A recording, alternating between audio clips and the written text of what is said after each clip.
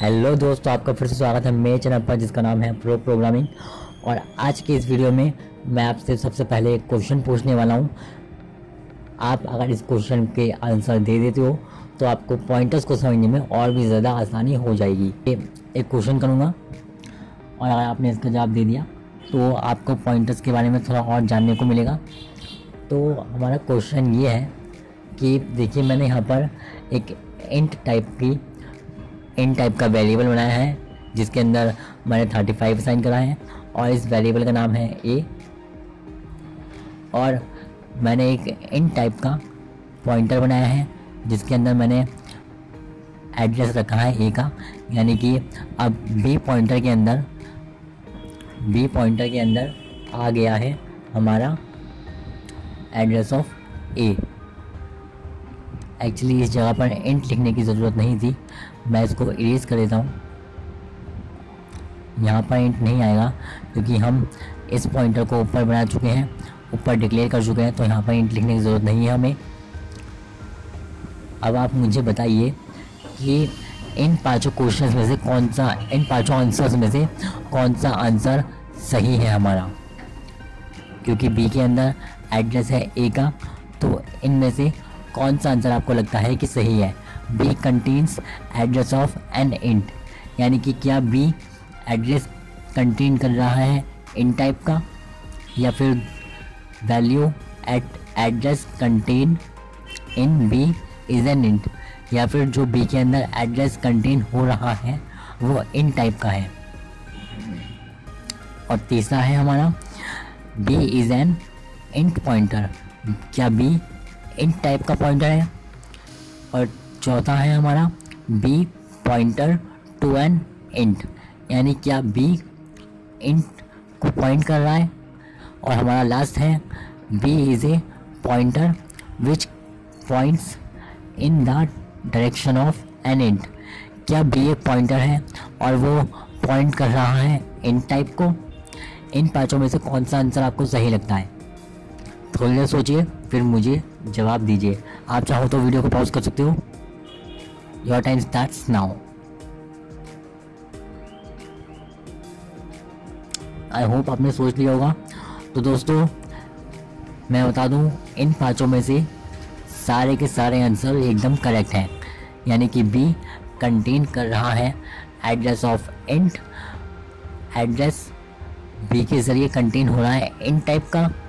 B एक int type का pointer है। बी इंट टाइप का है। बी पॉइंटर इंट टाइप को पॉइंट कर रहा है। बी एक पॉइंटर है और जो कि पॉइंट कर रहा है इंट टाइप को। ये पाँचों के पाँचों हमारे एकदम करेक्ट हैं। क्योंकि देखिए, यहाँ पर इंट टाइप का हमने वेरिएबल लिया है और उसको इंट टाइप का ही पॉइंटर पॉइंट कर रहा है। यानी कि बी के अंदर एड्रेस है ए का। तो हम बी की मदद से ए को एक्सेस कर सकते हैं। इसीलिए हमारे पाँचों के पाँचों सभी के सभी सही हैं।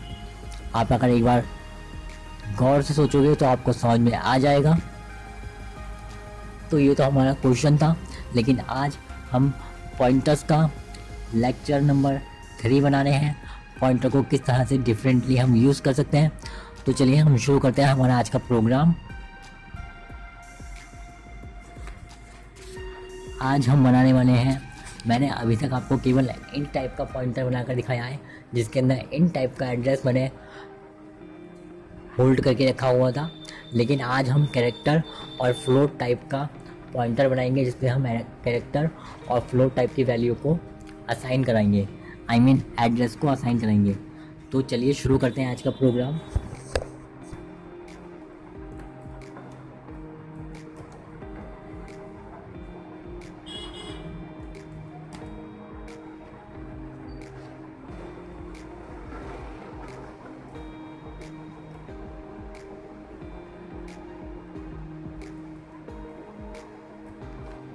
देखिए, मैंने यहाँ पर इन टाइप का एक वेरिएबल बनाया है आई और मैंने दूसरा वेरिएबल बनाया है, जो कि एक पॉइंटर है, यानी कि एक लाइन के अंदर मैंने दो चीज़ें डिक्लेयर की हैं। एक तो वेरिएबल आई और उसका एड्रेस कंटेन करने के लिए एक इन टाइप का पॉइंटर डबल आई अब हम कैरेक्टर और फ्लोट के लिए भी लेते हैं।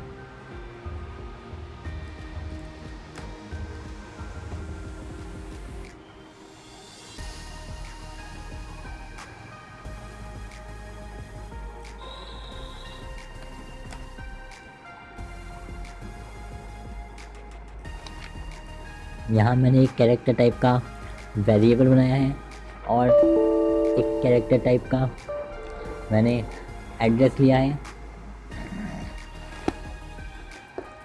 आई मीन कैरेक्टर टाइप का मैंने पॉइंटर बनाया है। तो चलिए, हम अब इनकी वैल्यूज़ के अंदर असाइनमेंट करते हैं और इनका एड्रेस इन वेरिएबल्स के अंदर डालते हैं। तो चलिए शुरू करते हैं। और हाँ दोस्तों, मैं आपको बता दूँ कि जो कैरेक्टर टाइप का पॉइंटर है, जो कैरेक्टर टाइप का पॉइंटर है, वो केवल कैरेक्टर टाइप के वेरिएबल का एड्रेस ही कंटेन कर सकता है। और जो फ्लोट टाइप का पॉइंटर है, वो केवल फ्लोट टाइप की वैल्यू को कंटेन कर सकता है। यानी कि आप ऐसा नहीं कर सकते कि आप फ्लोट टाइप के अंदर कैरेक्टर डाल दें या कैरेक्टर टाइप के अंदर इंट डाल दें। तो ऐसा करना पॉसिबल नहीं है। अगर आपने ऐसा किया तो इसमें या तो एरर आएगी या उसकी वैल्यू आपको आप, आप लॉस कर दोगे वो हम आने वाले लेक्चर्स में समझेंगे कि किस तरह से। लेकिन फ़िलहाल हम समझते हैं कि हमने किस तरह से इनके अंदर वैल्यूज़ असाइन करानी है और किस तरह से एड्रेस हमें इनके अंदर असाइन कराना है। तो चलिए पहले इन आई सी और एफ़ के अंदर वैल्यू डालते हैं और फिर इनका एड्रेस इसी टाइप के पॉइंटर में डालते हैं। चलिए शुरू करते हैं।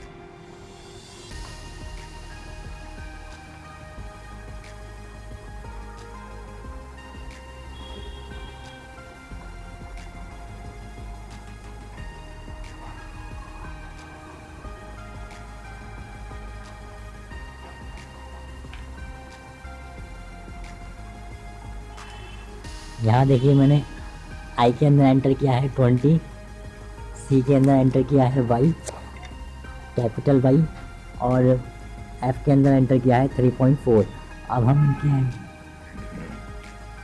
अब हम इनके एड्रेसेस इनके टाइप के अंदर एंटर कराते हैं।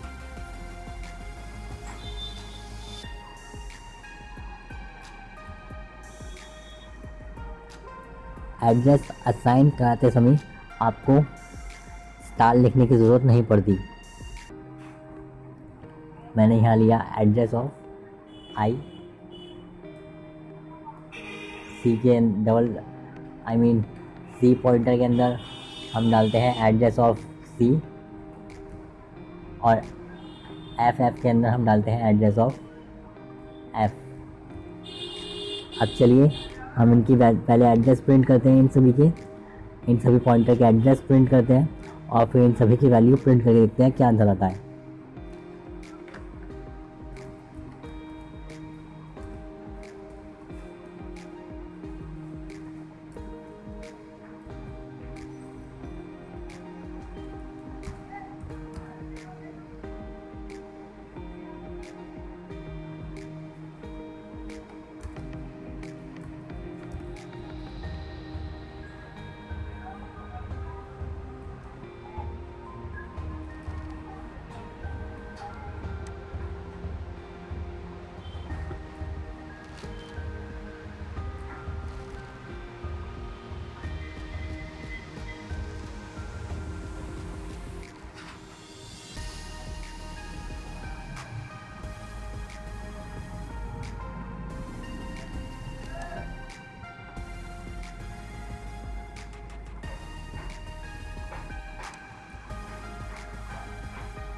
अब हम इन तीनों की वैल्यूज़ को प्रिंट कर दें।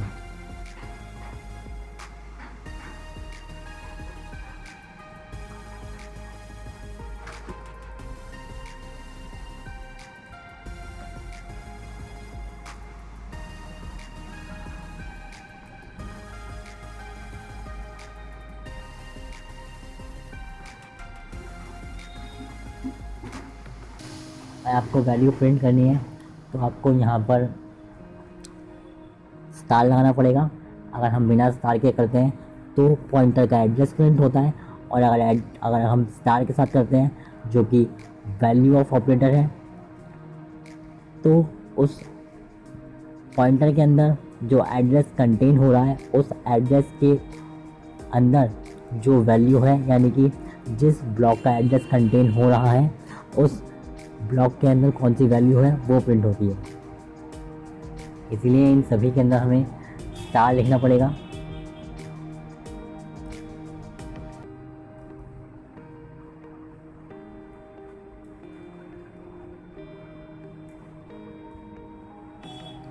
चलिए इसको एग्जीक्यूट करते हैं और देखते हैं आंसर क्या आता है। आप गैस कर सकते हो इसका आंसर क्या होगा। चलिए एड्रेस तो आपके सिस्टम के हिसाब से अलग अलग हो सकता है, लेकिन वैल्यू को गैस कर सकते हैं आप क्या हो सकती है। आई होप आप गैस कर लोगे, क्योंकि इतना मुश्किल नहीं है।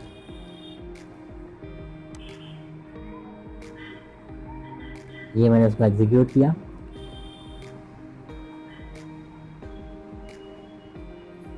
और इसकी वैल्यूज़ के अंदर जो कंटेंट हो रहा है, वो क्योंकि इसी टाइप का है, और हमने असाइनमेंट असाइन करा हुआ है ऊपर तो यहाँ पर वही वैल्यूज़ आएँगी जो हमने ऊपर असाइन की है। ये देखिए, पहले इनके एड्रेसेस प्रिंट हो रहे हैं, जो कि आपके सिस्टम के हिसाब से अलग अलग हो सकते हैं। पहले एड्रेस प्रिंट हो रहा है आई का, फिर सी का और फिर एफ़ का। लेकिन फिर इनकी वैल्यूज़ जो है प्रिंट हो रही हैं। और हाँ दोस्तों, मैं आपको एक एक बात बताऊँ कि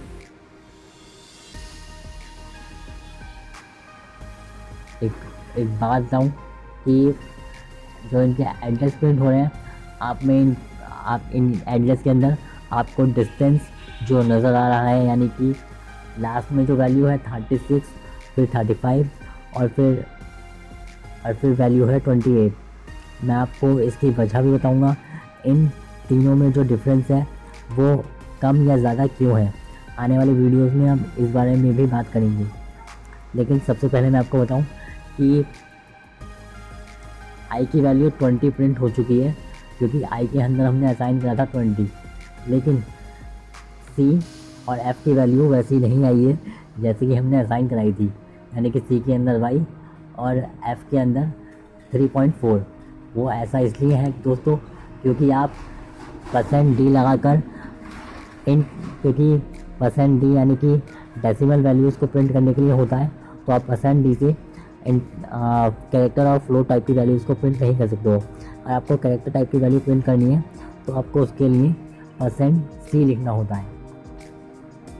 अब इस जगह पर कैरेक्टर प्रिंट हो जाएगा, यानी कि वाई और इस जगह पर आपको लिखना पड़ेगा परसेंट एफ़ जो कि फ्लो फ्लोट वैल्यूज़ को प्रिंट करने के लिए यूज़ किया जाता है। अब इसका आंसर एकदम ऐसे ही आना चाहिए। इस बार यानी एड्रेस प्रिंट होंगे और जो वैल्यूज़ आएगी वो आनी चाहिए हमारे twenty by and three point four ये देखिए आई के अंदर हमने डाला था ट्वेंटी ट्वेंटी प्रिंट हो चुका है सी के अंदर हमने डाला था वाई वाई प्रिंट हो चुका है, और एफ़ के अंदर हमने डाला था थ्री पॉइंट फोर और वो भी प्रिंट हो चुका है। तो जैसे कि मैंने कहा कि फ्लोट वैल्यू को प्रिंट करने के लिए परसेंट एफ़ डेसिमल को परसेंट डी या percent I I stand for integer or फिर कैरेक्टर को प्रिंट करने के लिए परसेंट सी और आगे और भी कुछ ऐसे वैल्यूज़ होते हैं, कुछ ऐसे कीवर्ड्स होते हैं जो अलग अलग टाइप की वैल्यूज़ को प्रिंट करने के लिए यूज़ किया जाता है। हम आने वाले वीडियोस में बारे में आगे जानेंगे कि किस तरह से हम अलग अलग वैल्यूज़ को अलग अलग अलग अलग कीवर्ड्स के ज़रिए प्रिंट कर सकते हैं।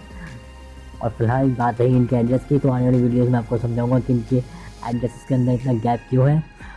तो चलिए फिर से बाय बाय सी यू मिलते हैं अपनी अगली वीडियो में. Thank you so much have a good day